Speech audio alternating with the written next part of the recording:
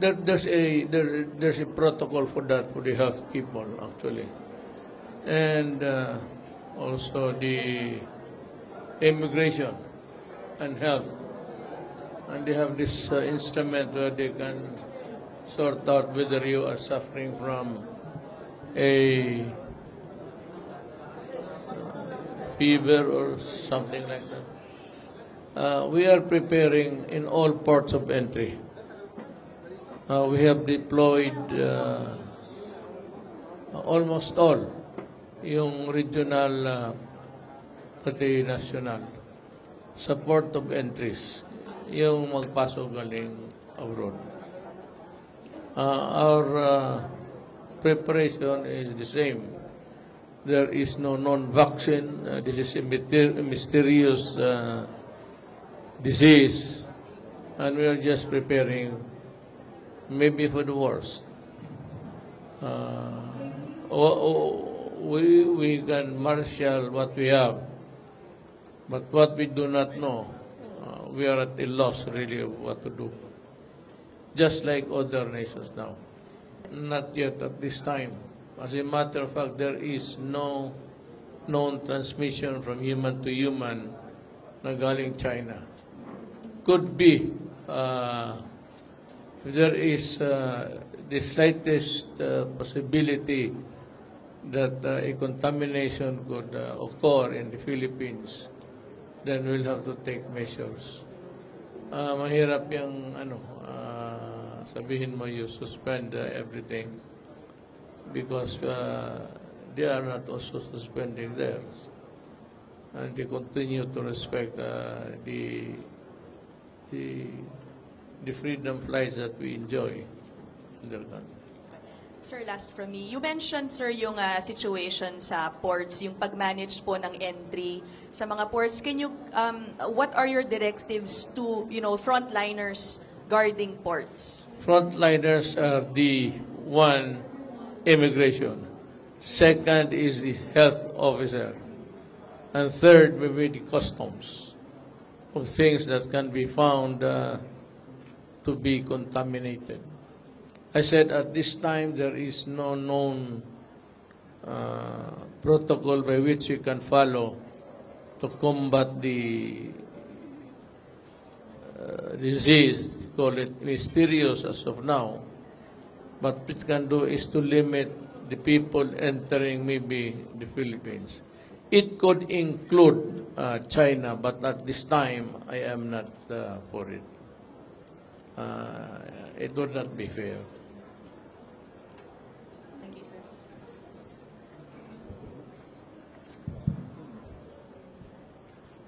Um, may plans po ba to repatriate Filipinos from Wuhan considering na over 100 na po yung namatay and more than 6,000 na po yung infected nung novel coronavirus? At this Wuhan, From Wuhan, China, sir. yes, uh, that's a place. But that, that place is really, admittedly, by all as uh, contaminated. And it is uh, locked down in the sense that no one there from that place can uh, go out. And the other, it is practically like a prison where you cannot move around or get out of the place. They are discouraging movement even in the place itself. Avoid contacts. Because that's avoid contamination. So, hindi po natin tatan um, i-ask yung Chinese authorities to um, i-allow us na i-repatriate yung Filipinos po. Well, we are uh, always conscious of our citizens, their uh, health. And uh, if they are going home, we are ready to ferry them back to the Philippines. But all precautions must be in place. Uh, maybe the spraying of the entire plane from the landing gear up to the rooftop or whatever. I leave it to the proper authorities to do that. Uh, I said, but kung may mga sakit tayo na may may tama na at gusto nang umuwi, makaawa naman kung hindi natin tulungan. Uh, I will not uh, argue that they should also be uh, inside a lockdown place. We are given the go signal, my well, my my thinking is that uh, we'll have just have to go there and rescue them. I said, but all precautions must be uh, in place so as not to allow another contamination here. It's eerie for a contamination to spread from people to people. Hindi pa nila alam kung ano tong yawa na ito. eh. Uh, Good evening, Mr. President. I am Jen from Manila Bulletin. Sir, uh, on your uh, U.S. trip, have you informed U.S. President Trump about your decision to decline the invitation to attend the summit? And who will represent you to the summit instead? I think by this time, our uh, foreign office uh, must have advised uh, China that I'm not going. And uh, they do not want uh, proxies there. That's what I've noticed when a head of state is absent. Uh, his, rema- his chair uh, remains empty. Nobody sits there. So wala siguro. Wala akong mai-turo na proxy ko will uh, act as proxy.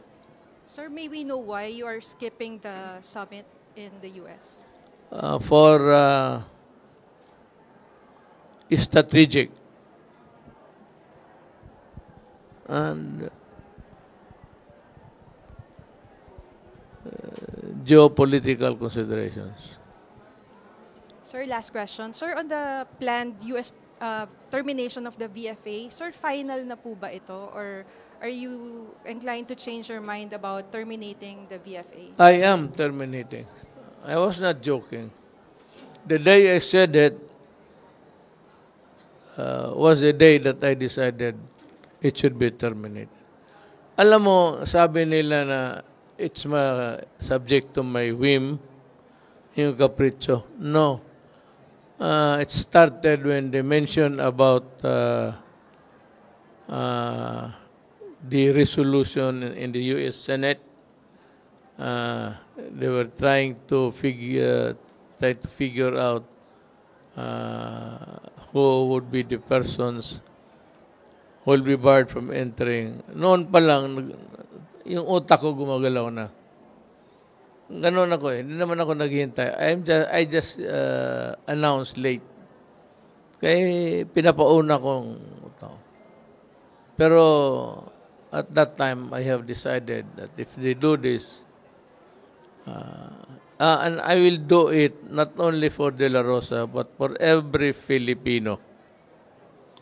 O lalo na yung mga taga-gobyerno na magpunta doon, uh, supposedly to attend a business concern officially ng ano, yung hindi nila I will limit siguro sa foreign affairs but uh, I will I will not allow any cabinet member to go there at this time.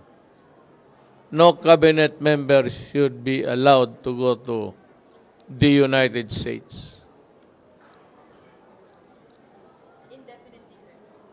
indefinitely so that uh, we limit our contact uh, in whatever aspect of international relations would it, would be discussed or uh, subject of talks. So, sir, you mean you want to lessen relations with the U.S.? So, and I, I am slowly toning it down. And I said, uh, as a corollary of uh, De La Rosa's uh, uh, well, uh, being um, uh, his cancel uh, his, his canceled visa, uh, para sa akin, lahat na lang. Lahat ng, I, I don't know about the Senate and Congress. They are not uh, uh, under my jurisdiction. But yung mga senador, uh, mga se- uh, cabinet member ko, I will ask them to not to go to the United States. In the meantime, parang boycott.